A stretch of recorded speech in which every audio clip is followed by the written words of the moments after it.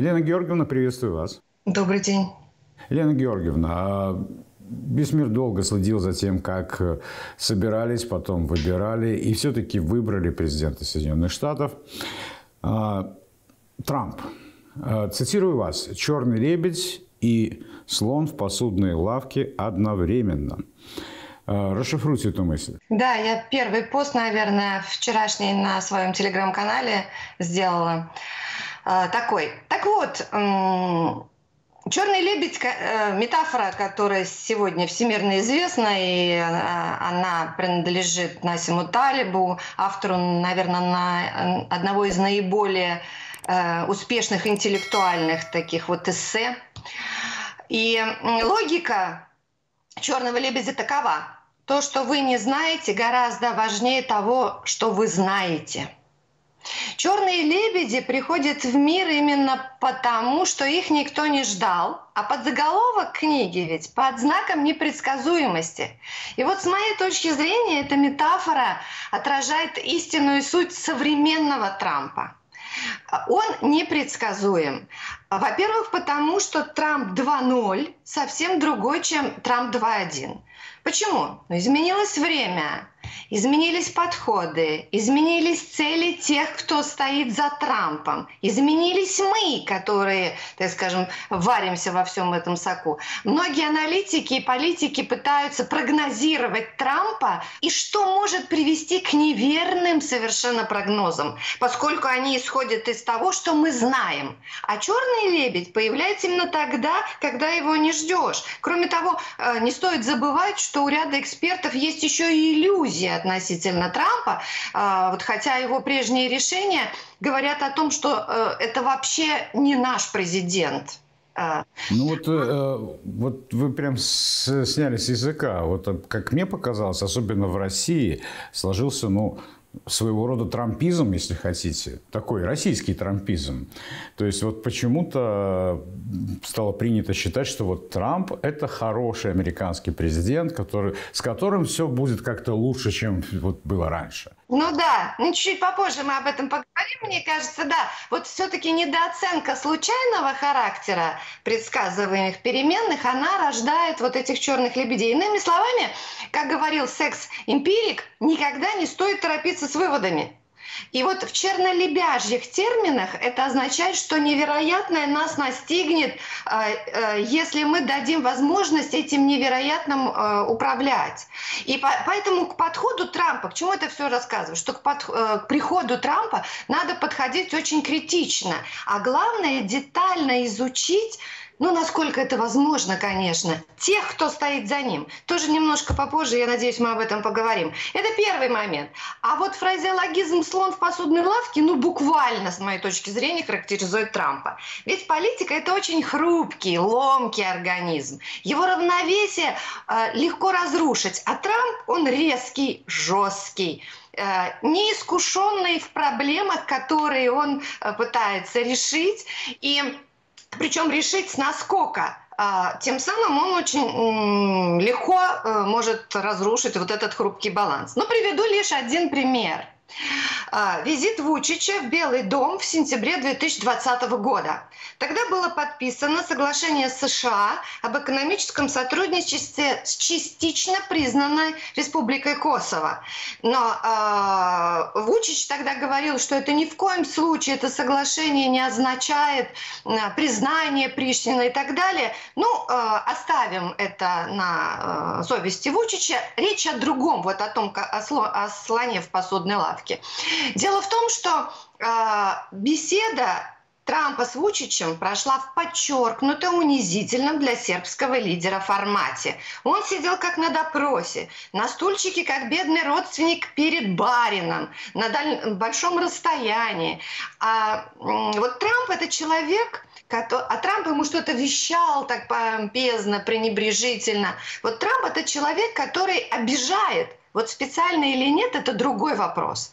Но он обижает не просто людей, поскольку он не с простыми людьми общается, а глав государств значит, целые народы. Другой пример – это когда на саммите НАТО принимали Черногорию, и он с такой силой ударил по спине Джукановича, лидера. К Джукановичу можно по-разному относиться, но это же все засняли камеры. Я уже не говорю про упражнения в его рукопожатиях, когда он издевался над рядом политических лидеров, включая японского премьер-министра, и, и там типа получал от этого какое-то удовольствие, да, вот, я не знаю, физическое, эстетическое и так далее. Так что Трамп э, это и черные лебеди, и слон в посудной лавке одновременно. То есть его личность все равно прорывается. Это какая-то, с одной стороны, актерскость, с другой стороны, это демонстрация вот такого парня на улице, который может подойти к любому мальчишке в, во дворе с циркулем и сказать «отдай кошелек».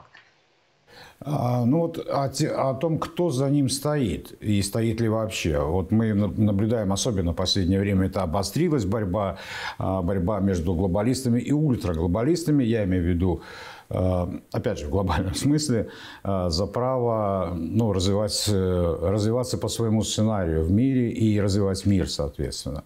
А где между ними Трамп? И если он между ними, бунтарь ли он одиночка, так как он выглядит во всяком случае? Ну, да, Или как, как, как, как его при, преподносят нам? Очень интересный вопрос, и вот отвечая на него, я бы хотела вспомнить сериал «Миллиарды». Полагаю вообще, что все занимающиеся американскими делами должны с карандашиком в руках внимательно отсмотреть к сожалению, все семь сезонов. Это огромный сериал, мне почти на это полгода ушло. И это гораздо более серьезная вещь, чем карточный домик. Так вот, в последнем э, сезоне интригующий сюжет. Сейчас вообще будете смеяться, да. Дерзкий, беспринципный, холодный, коварный, жестокий миллиардер по имени Майк Принц баллотируется на пост президента США в 2024 году. Сериал вышел в 2022 году. Но прежде, чем публично заявить о своем решении, он едет на смотрины в клуб старых денег, в далекую чащу, где даже удобства, кстати, на улице, но именно в тиши соснового бора собираются те, кто реально определяют политику. И кто выбирает там они выбирают из двух людей. Ну и хотя в результате э, принцу, э, этому кандидату все обломилось, но не в этом суть, а в том, кто принимает решение э, о президентстве. И вот еще в начале 80-х годов американский исследователь Паул Фассель провел очень большое аналитическое рассуждение и в конце концов вывел такое понятие, как класс за пределами видимости. Мы с вами рассуждаем о публичной политике, о, тё, о тех людях, которые представлены. Да. Э, представлены в э, СМИ прежде всего в мемуарной литературе, там, в кинематографе и так далее.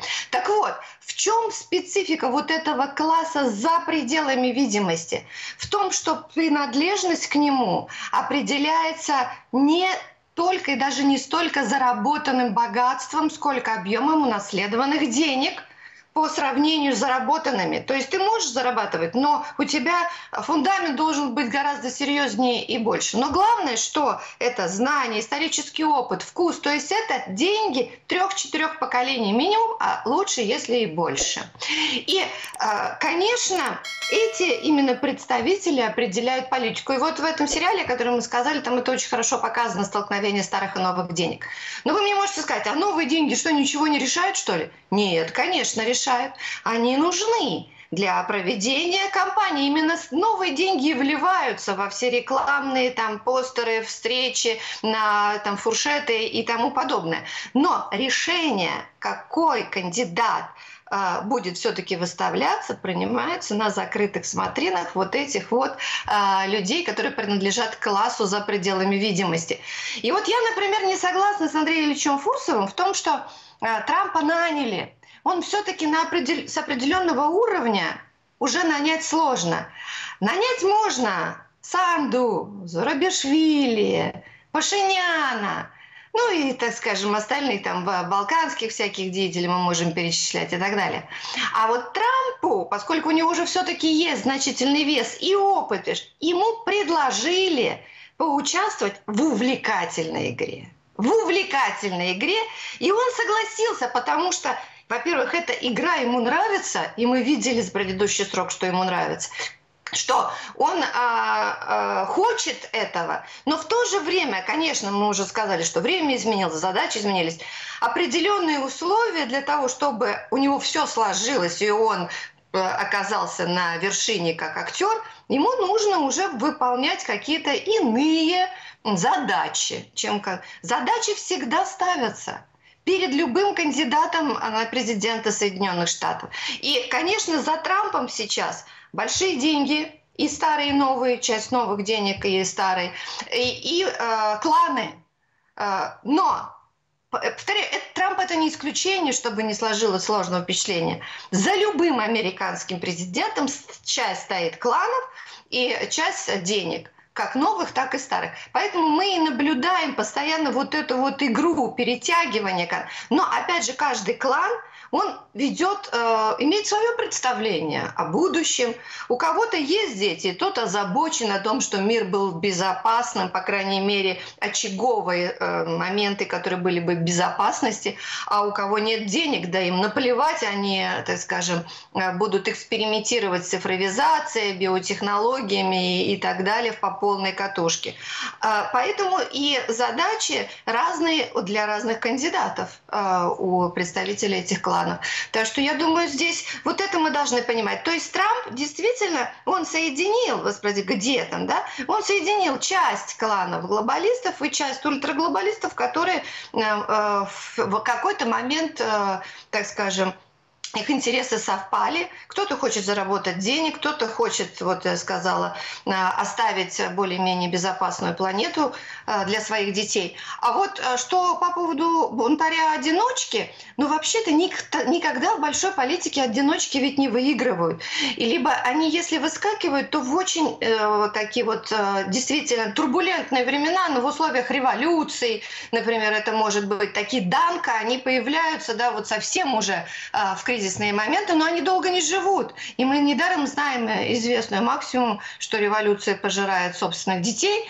Вот. Но а, большая политика – это долгая, а, многоходовая история, и поэтому одиночки здесь э, не приживаются. И они даже становятся опасны в какой-то момент, потому что иначе, если как на тебя, там, скажем, э, влиять. Но, с другой стороны, как мне э, говорят специалисты по антитеррору, то самый опасный, конечно, субъект в э, терроризме это как раз-таки одиночка, потому что вычислить его сложнее всего. Но там-то он скрывается, а в политике он наоборот хочет быть услышанным, увиденным. Поэтому, конечно, Трамп это не одиночка, и не бун... Бу... если бунтарь, то в очень э, определенных рамках, с той точки зрения, что вот ему сказали, здесь нужно действовать, и ты вот это разрушай, вот то, что расчищай себе пространство, вот в определенных рамках. Вот в этом смысле э, Поэтому мы и говорим, да, что он жесткий, что он там дерзкий, он э, может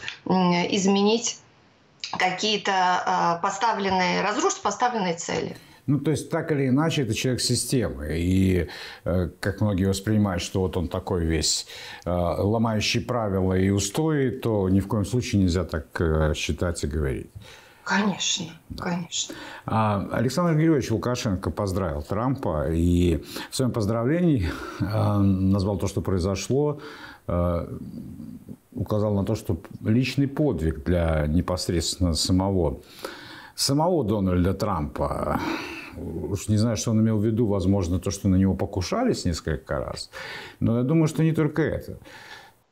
Я думаю, что, конечно, эм, Лукашенко, который как никто другой знает новейшую политику э, прекрасно, потому что более 30 лет вот в большой политике, совершенно разные эпохи политические он пережил и сталкивался с разными американскими президентами. И надо сказать, что избрание э, Александра Григорьевича в августе 2020 года э, Трамп э, не признал легитимным и не поздравил Александра Григорьевича. Но вот этот жест, который сделал Лукашенко, говорит о том, что белорусский президент думает о будущем своей республики Это очень важно. И свои какие личные, там, скажем, обиды э, он на, на второй план отводит. Это, это очень важно. Второй момент, э, касающийся э, вот, так скажем, подвига личного Трампа, действительно, когда на тебя покушаются несколько раз, и когда разговоры о том, что будет еще покушение, что Трамп не дойдет до президентской гонки, конечно, мы можем списать это на пиар, там, скажем, на э, подогревание интереса. Достаточно вспомнить фигуру Ющенко, который э, лег под э, нож хирурга для того, чтобы изуродовать себе лицо и быть страдальцем, чтобы за него проголосовали люди на президентских выборах. Это тоже нельзя списывать, но тем не менее Трамп боится боец. Это никто не списывает со счетов. Действительно, он бьется, аки гладиатор э, на ринге.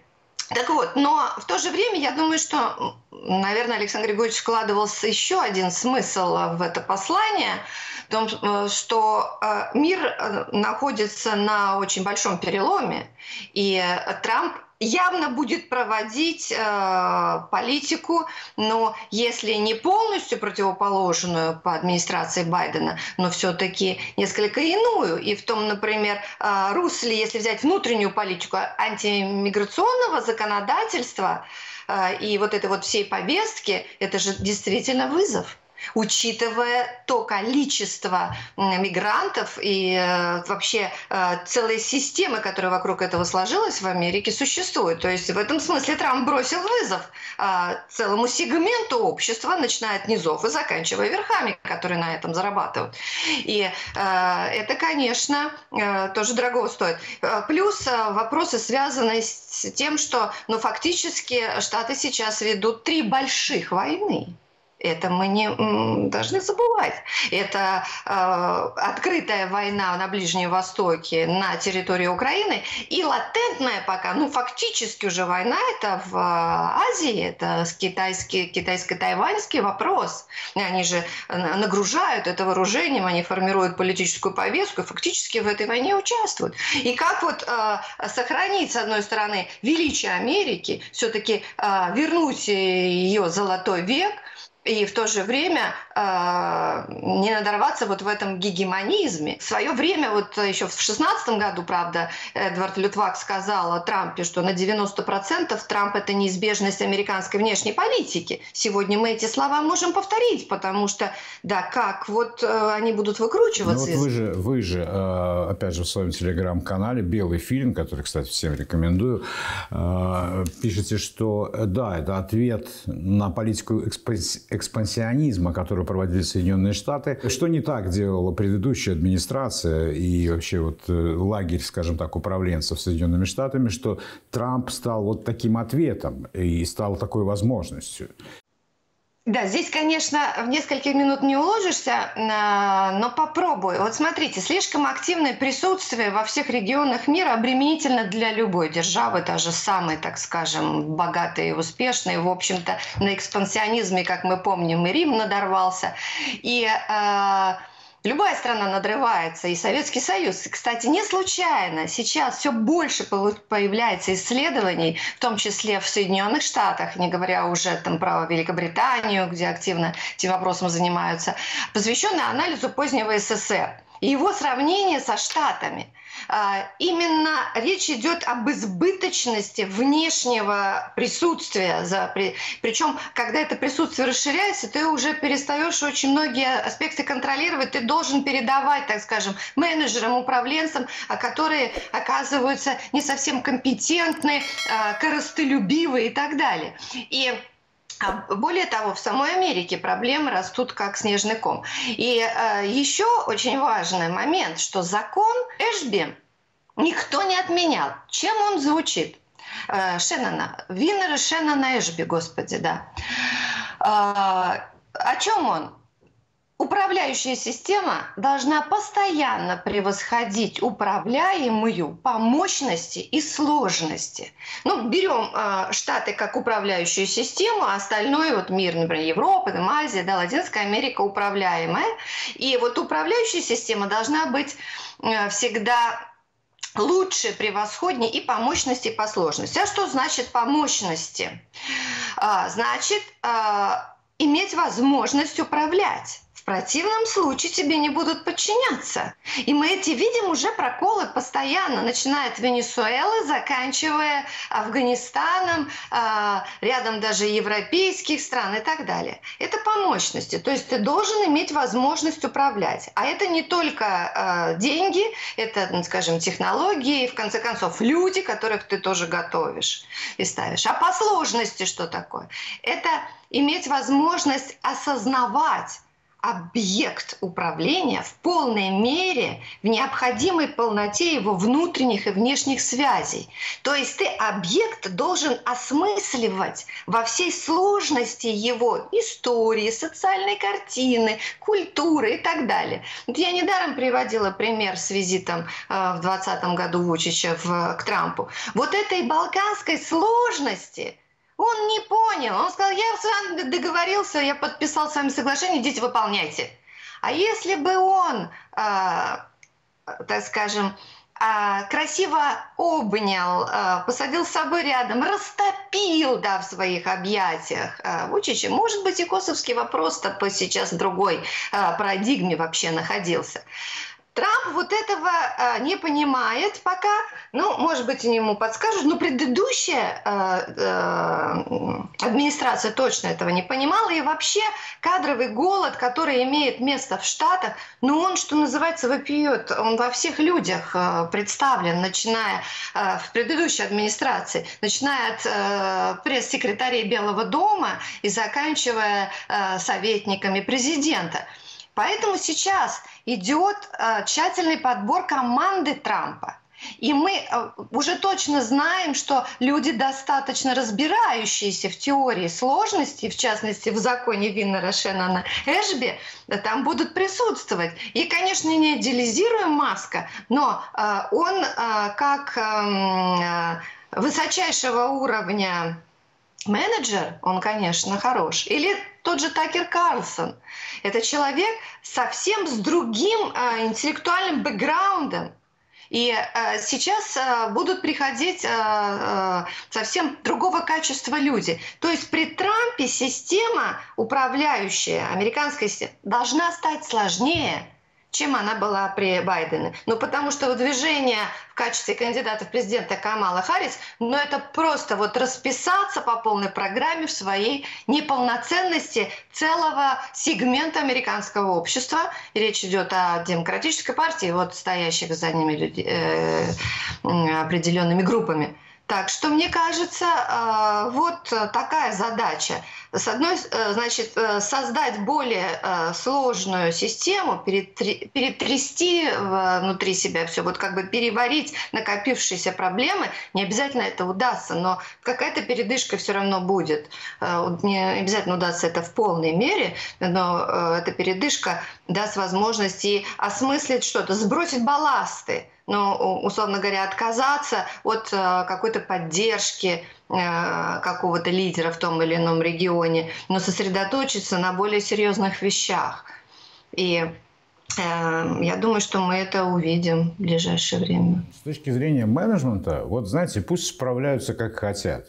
Вот на самом деле это их история. Нам-то интересно, а, как это все отразится так или иначе на нашей жизни. И вопросы ведь не праздные. Например, а, конфликт на территории Украины. И тут я, наверное, связываю во многом тот самый трампизм, ну, кавычках, среди россиян. А ведь именно от него звучали постоянные такие а, заявления, что если я стану президентом, мы покончим с этой войной там, в 24 часа, да, мы там прекратим эту помощь.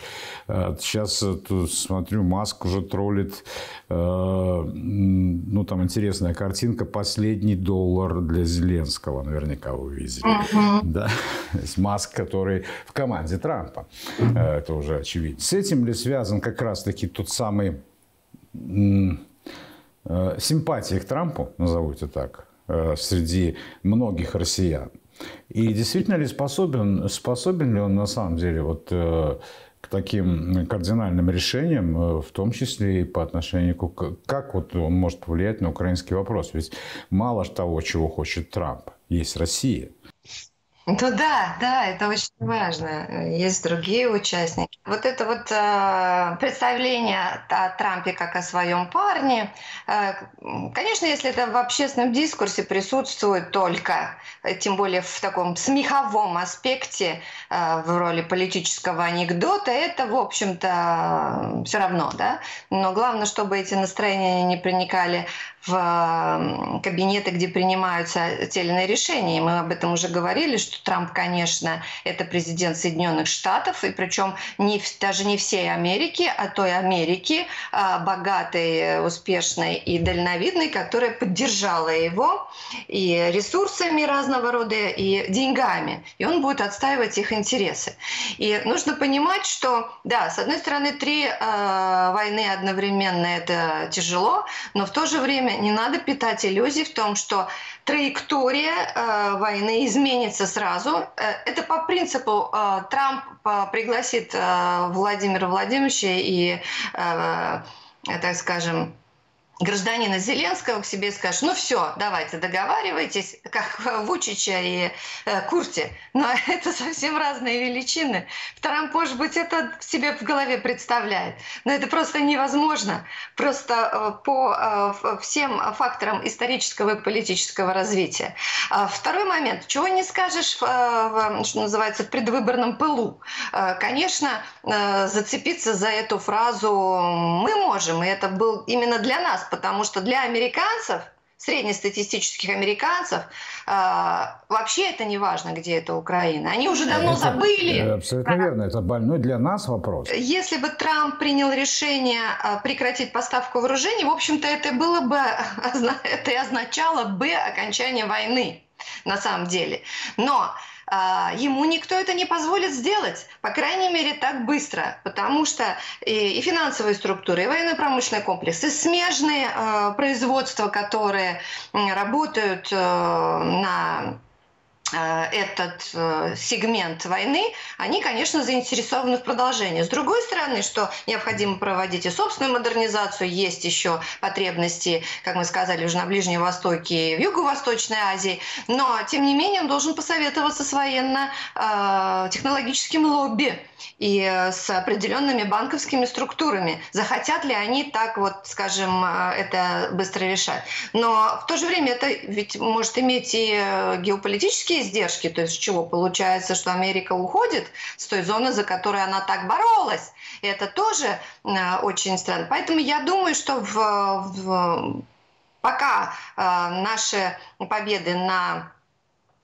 земле не станут еще более ощутимы, значимы, мы видим, продвижение по фронту идет, то, соответственно, никаких серьезных э, предложений стороны Трампа не будет. Они будут такие вот э, носить, условно говоря, риторический какой-то смысл, такой вот, э, э, я не знаю, как популист, популизмом, наверное, отвечать и так далее. Я не отношусь к этому, к этим предложениям серьезно, поэтому надежд никаких на это не питаю. Нужно побеждать на земле.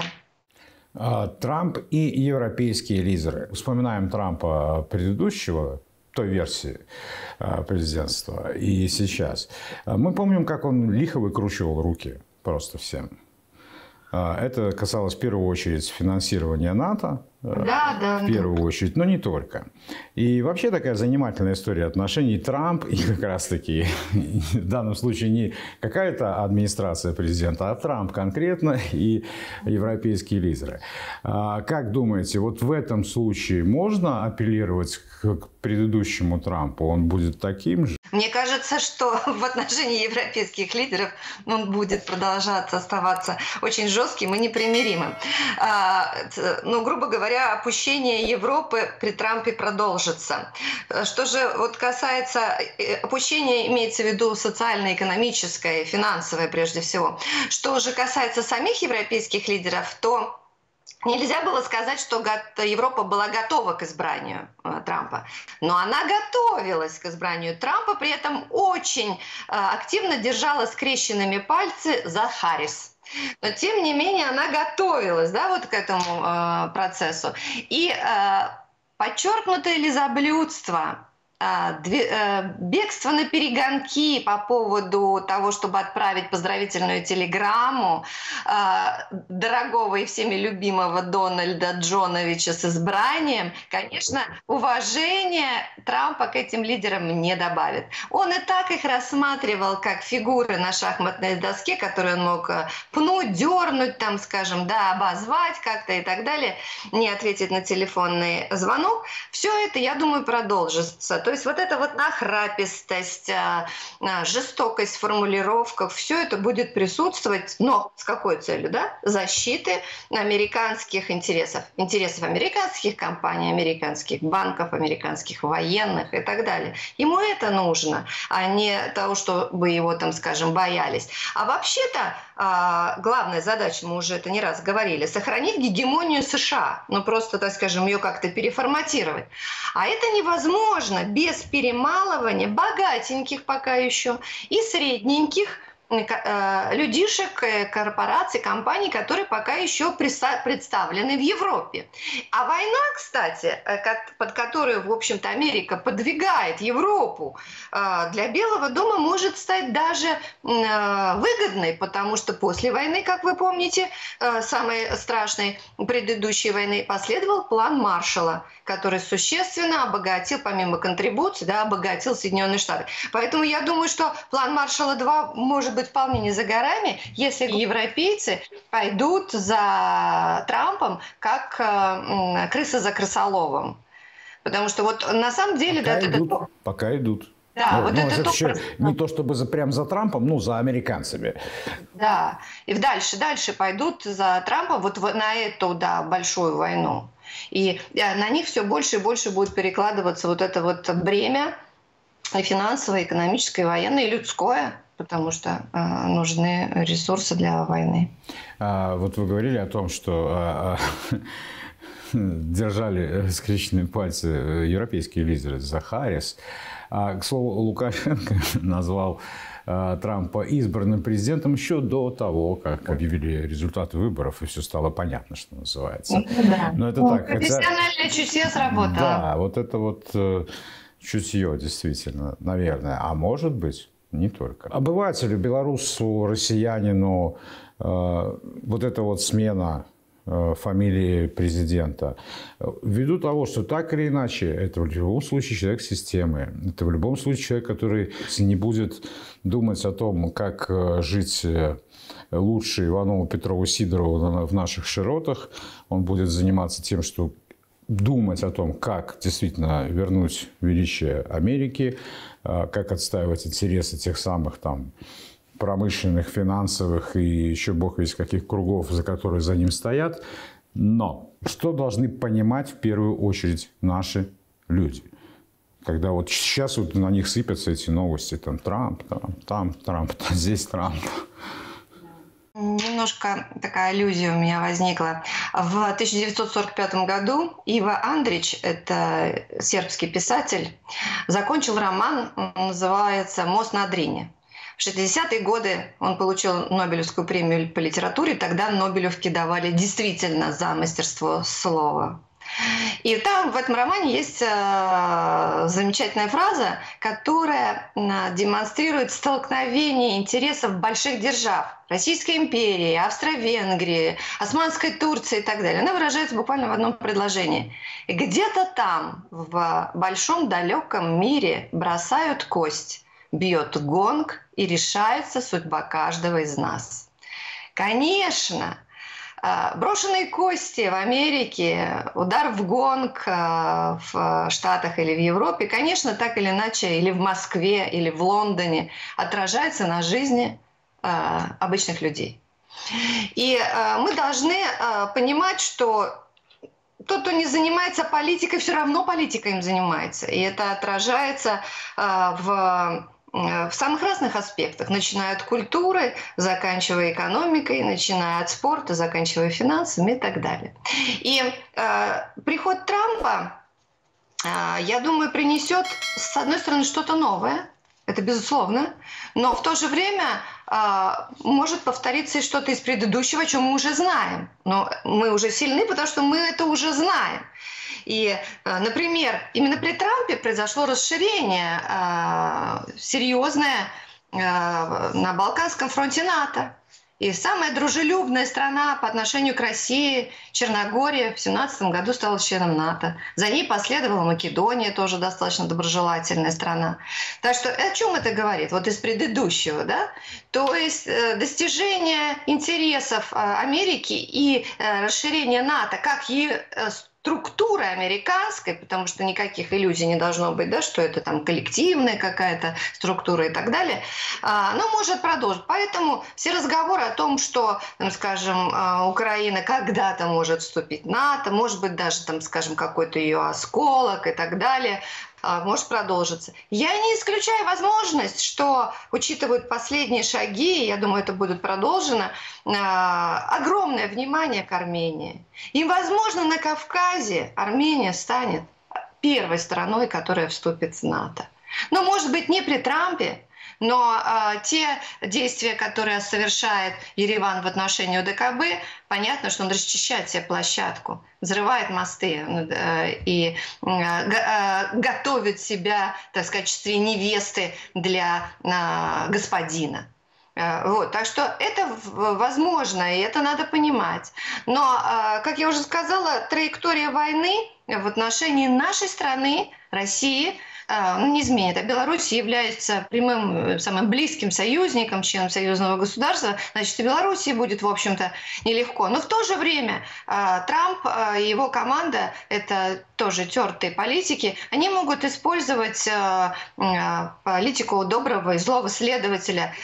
Беларуси могут быть предложены какие-то открывшиеся новые возможности, какие-то, там, скажем, экономические преференции, как в свое время, когда когда нужно было американцам сбить цену на нефть, они даже отменили санкции в отношении венесуэльской нефти, например. И таких таких случаев достаточно много. Поэтому нужно э, понимать, да, можно нас соглашаться на такого рода предложения, если они поступят, но помнить, что они преследуют не интересы вашего государства, а интересы, э, так скажем, переформатирования э, той или иной повестки американской и работают исключительно на интересы э, американских э, транснациональных компаний, которые в подавляющем большинстве именно транснациональные. Так вот, Получается, что э, э, бремя экономической войны будет переложено на европейцев. А в этом смысле, если бремя экономической войны перекладывается на европейцев, нужно тогда э, искать новые возможности экономического сотрудничества, новые коридоры, э, э, транспортировки и так далее. И поэтому, конечно, э, столкновение интересов будет происходить э, за новые коридоры. Э, экономического развития. Вчера вот в России был спущен на воду гигантский, новейший ледокол «Чукотка». И это показатель, на, э, так скажем, стапелях стоят еще несколько таких гигантов. Это речь о, конечно, развитии северного морского пути и, соответственно, тоже нового уровня коммуникации. В этом смысле в строительстве таких гигантов, которые занимают не один год, конечно, а, огромное внимание должно быть уделено и белорусским специалистам, белорусским предприятиям на самом высоком государственном уровне. И в этом смысле я что вижу? Что нам нужно, вот обычным людям, конечно, а, делать свою работу каждый на своем месте очень качественно и хорошо, заниматься образованием, просвещением своих детей, крепить наше содружество, наше единство, потому что э, э, какой бы Трамп ни пришел, да, он всегда будет коллективный, он будет выражать интересы определенной группы, а эти интересы... И заметьте, не тех групп, в которых состоим мы, тут да, тоже надо понимать. А, а интересы этих групп глубоко враждебны нашим интересам, поэтому битва продолжается, и нужно быть готовым к разным вариантам, но единственное обязательно настрой, только на победу. А вот тут я с вами не просто согласен, а совершеннейшим образом согласен. Спасибо огромное, Елена Георгиевна, за этот э, увлекательный и полезный, я надеюсь, для всех, кто нас видит и смотрит и читает разговор. Спасибо. Всего доброго.